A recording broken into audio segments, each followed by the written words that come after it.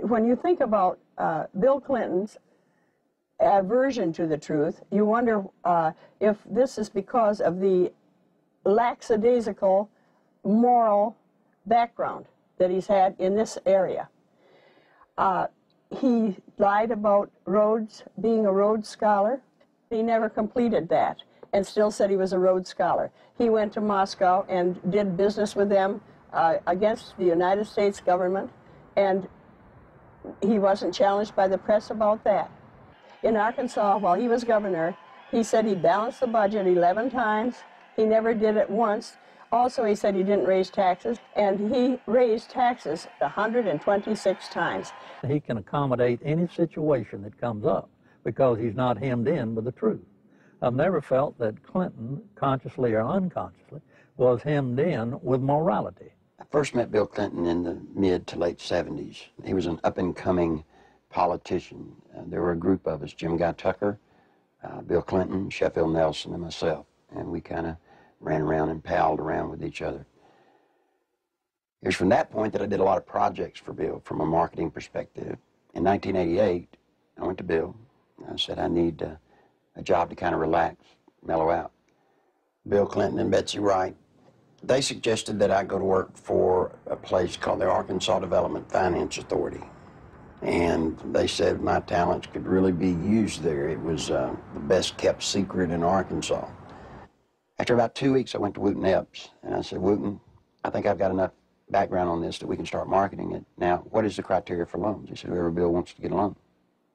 To go back, though, to that moment in time, I'd been there about a month, and I realized that I was in the epicenter of what I'd always heard about all my life. What most people have heard about is the machine. I was literally working, sitting in the middle of Bill Clinton's political machine. It was where he made payoffs, uh, where he repaid favors to people for campaign support. Um, I was in an interesting seat, and I knew it. Bill Clinton sold the concept of ADFA to the people of Arkansas as a vehicle for creating jobs and assisting churches and schools. In reality, millions of taxpayer guaranteed dollars were being channeled to Clinton's election campaigns, to his inner circle of friends, and to his wife Hillary's law firm. This may explain why ADFA had been drafted in such a manner as to keep its decision-making procedures secret.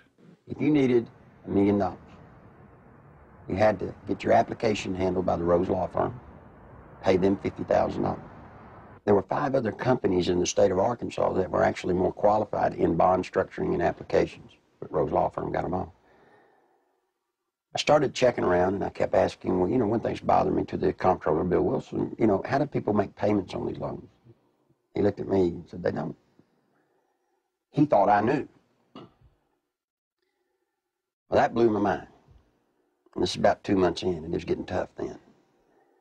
So I started gathering the documents.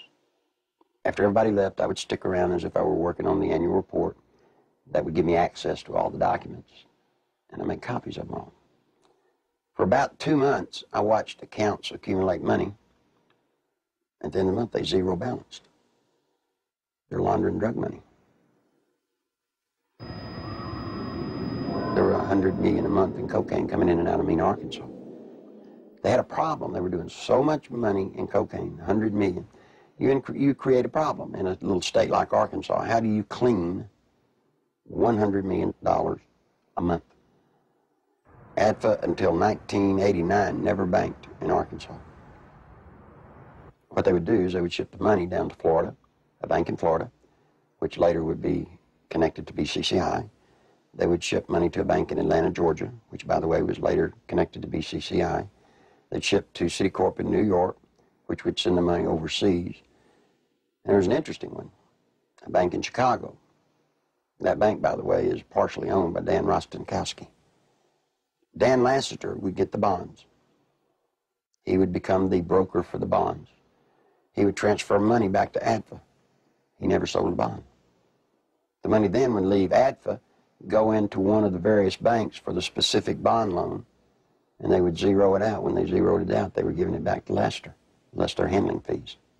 Dan Lasater, who is the best friend of Bill Clinton, who went to jail with Roger Clinton for cocaine. And by the way, let me explain something. He didn't sell cocaine.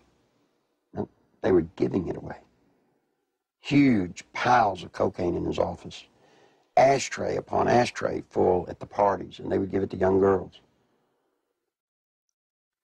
That's sick. I mean, they were giving a highly addictive drug to young girls. Dan Lasater contracted to launder the money. Now, in addition to his contract to launder the money and the system that he and Bill Clinton had set up to do it, probably what he did is he took advantage of some of the cocaine. That's why he could give it away. Shoot, you have a hundred million a month in cocaine. They wouldn't care if you took a bucket full a day. Once he was convicted, he went to a minimum security prison, a holiday hotel, we call them. He spent, I think it was six to eight months, and he got out. Unbeknownst to anybody, Bill Clinton, the day after he got out, granted him a full and complete pardon. So if you think he's tough on crime, think about a man that pardons a man that gives cocaine to kids. Fear of violence is robbing our children of their future. We must take away that fear and give them hope. We must give Alicia and all our children back their childhood. Working together, we can. Your president, president of the United States, not only was a part of a system that was laundering millions of cocaine dollars, your president signed off on it. He can't deny that he did. You see, because there's one little catch. Every loan that ADFA made, Bill Clinton himself had to sign off on. More than Bill Clinton. You better identify the people in the loop of the drug running. You better identify the people in the loop for money laundering. And what you'll find there is those people go straight to Washington. This is a circle of power. These are the people, when he got elected president, he did not pass go. He took them straight to Washington with him. Yeah, Bill Clinton was hooked on cocaine. I lived in Little Rock, Arkansas, okay? And uh, I worked at a club called the Bistros. And I met Roger Clinton there, uh, Governor Bill Clinton. Roger Clinton uh, had came up to me and he had asked me, could I get him some coke, you know, and asked for my one hitter. And uh, I watched um, Roger hand what I had gave, given him to um, Governor Clinton, and he just kind of turned around and walked off, and that's one specific. Dr. Suen, uh, S-U-E-N, a doctor at the medical center here in Little Rock, is taking care of Bill Clinton for his sinus problems, which may indeed be drug-related to cocaine use um, as they destroy the sinus passages. Governor Bill Clinton was taken into the hospital, I believe it was the medical center, on at least one or two occasions for cocaine uh, abuse and overdosage in which he actually had to be cared for at the hospital. Clinton had integrated a number of corrupt cops, judges, and politicians into high-level positions to ensure the continued success of the drug smuggling, money laundering operations. All was going well until a fateful night in the fall of 1987. On August 22, 1987, Kevin had spent the night with his friend Don Henry. They left uh, Don's home around 12:30 or quarter to one uh, on the 23rd of August in early morning hours, and uh, the next thing we knew, they had been run over by a train. There seems to be a small airstrip in the area. There have been sightings and uh, reports of small airplanes flying very low with lights off in the area. I believe they saw something they shouldn't have seen.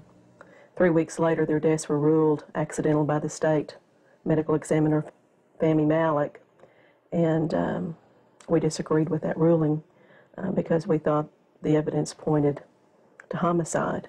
Ultimately, it was proven that Don Henry had been stabbed in the back and Kevin Ives' skull had been crushed prior to the placement of their bodies on the railroad tracks. However, Malek stood by his ruling that the boys had simply fallen asleep on the tracks. Malek had been kept in office at the insistence of Governor Clinton for a number of years, despite vigorous public outcry to have him removed. As long as Malek's rulings pleased the governor's office or state police, they were left to stand, no matter how implausible. Malek's obvious lack of medical knowledge reached a pinnacle when he ruled that James Milam, who had been decapitated, had died of natural causes. Yet Clinton, who had the power to remove Malek from office, insisted he stay. A number of people approached the police with information about Don and Kevin's murders and consequently were murdered themselves. Shortly before Keith McCaskill was murdered, he he knew that he was fixing to be murdered. He told his family goodbye, told his friends goodbye.